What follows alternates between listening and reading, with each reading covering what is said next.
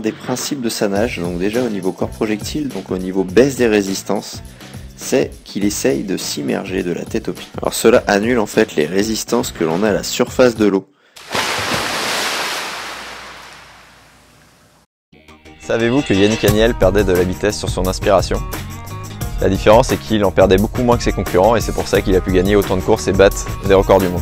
Vous pouvez avoir plusieurs problèmes sur votre inspiration, votre bras qui tombe, une inspiration placée trop tôt ou trop tard, mais ce qu'on va voir dans cette vidéo c'est comment vous pouvez maintenir les pieds à la surface de l'eau, bien à l'horizontale, pour vraiment qu'il y ait le moins de frein possible.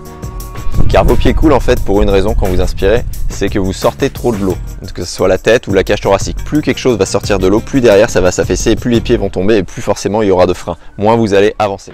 Ici vous pouvez voir Yannick Aniel au centre, aux Jeux Olympiques de Londres. Donc il a été champion olympique du 200 mètres nage libre. Et je voulais attirer votre attention sur un des principes de sa nage, donc déjà au niveau corps projectile, donc au niveau baisse des résistances, c'est qu'il essaye de s'immerger de la tête aux pieds, qu'il s'immerge de la tête aux pieds. Alors cela annule en fait les résistances que l'on a à la surface de l'eau. Il passe sous la surface de l'eau et du coup, il annule les résistances qu'on appelle les résistances de vague. Car vous pouvez voir ici, j'ai tracé la ligne pour la surface de l'eau, que tout son corps de la tête aux pieds passe sous la surface de l'eau. Donc là, son bras commence à revenir et si on revient, il y a vraiment aussi bien la tête aux pieds, le bras ici et devant, l'autre bras est à la cuisse derrière. Tout passe vraiment juste sous la surface de l'eau de manière à baisser les résistances le plus possible. Et ce que ça nous apprend sur l'inspiration, c'est que quand il va inspirer, ici, il essaye de garder le même principe de nage qui est de rester dans l'eau le plus possible. Il a une lunette qui reste immergée il a également la moitié du corps ici. Il garde le plus possible sa cage thoracique dans l'eau. Alors qu'est-ce que ça va donner au niveau du maintien de votre horizontalité? Ça va faire que vous allez garder plus facilement le fait d'immerger votre corps. Vous allez garder plus facilement les talons au niveau de la surface de l'eau pendant l'inspiration. Donc il y a l'inspiration. Je vous rappelle qu'elle se fait sur un temps mort moteur, c'est-à-dire que Ici, vous avez le bras en projectile devant. Là, vous avez la fin de poussée de l'autre bras. Quand vous avez fini de pousser, là sur le début du retour aérien du coup, du bras qui vient de sortir du bras gauche, vous allez inspirer.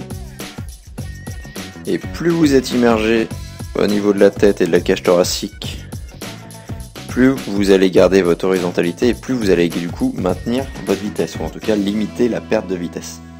Alors on peut remarquer aussi qu'il regarde légèrement vers l'arrière de manière à pouvoir inspirer dans le creux de la vague qui crée grâce à sa vitesse. Donc plus votre niveau va augmenter, plus votre vitesse va augmenter, plus vous allez pouvoir respecter ces principes-là de respirer dans la vague et de rester immergé. Donc si vous nagez plus de 5 minutes, plus de 5,30 au 400, je vous conseille de simplifier le travail sur l'inspiration sur les repères, car vous n'aurez pas assez de vitesse pour respirer dans la vague. Ce qu'il va falloir faire, donc là même si c'est un nageur qui fait 4 minutes, qu'il va falloir essayer de faire, c'est de poser la joue au niveau de la surface de l'eau, donc là un peu plus haut que ce que Nathanael est en train de réaliser. De poser la joue et de surtout essayer d'avoir l'oreille par contre qui est sous la surface de l'eau. De manière à toujours rester sur ce principe de rester immergé, mais selon votre vitesse, donc si vous êtes à plus de 6, plus de 7 minutes au 400, faites plus simple avec ce repère de l'oreille immergée. Alors dites-nous en commentaire à quel niveau vous êtes rendu, vous, sur votre inspiration. Pour aller plus loin et pour avoir une inspiration plus efficace et aborder encore d'autres thèmes, vous avez les stages de la Swim Academy. Il y en a en novembre et en décembre et tout le long de la saison. Alors si vous voulez aussi avoir d'autres exercices pour mieux inspirer, mieux vous aligner, mieux vous propulser, vous avez des exercices comme le 1, 2, 3 soleil disponibles dans les plans d'entraînement. Donc là, on vous met un lien dans la description, un plan d'entraînement pour nager moins de 7 minutes au 400. C'est ce qui a permis à Clément de gagner une minute, de passer de 8-15 à 7 minutes 13 sur 400 mètres. Dites-nous également quel nageur vous souhaitez qu'on analyse et sur quel point technique particulier vous aimeriez avoir plus d'informations.